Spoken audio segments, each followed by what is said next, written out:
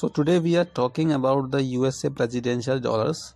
and in these coins, uh, the coin weight is around 8.10 gram only.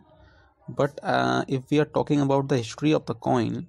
the coin was uh, the coin idea was inaugurated in I think in May 17, 2005. Okay,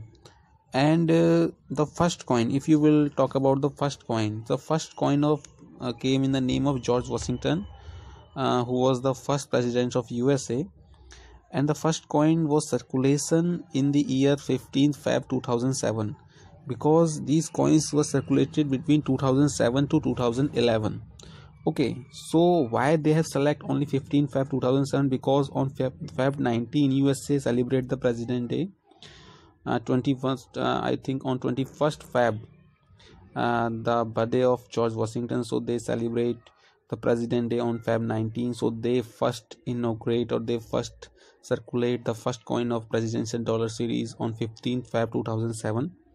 and if we are talking about the features of this coin the weight of the coin is 8.10 gram. The diameter is 26.49 mm and the thickness is 2 mm and if you are if you will if we will look at the edge of the coin they have engraved a text e pluribus unum uh, that thing is also on the seal of the USA and there are 13 five pointed stars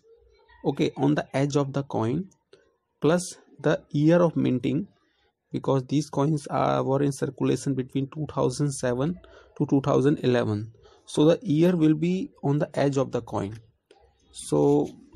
and if we are talking about the composition the metal composition on the coins are copper is around 80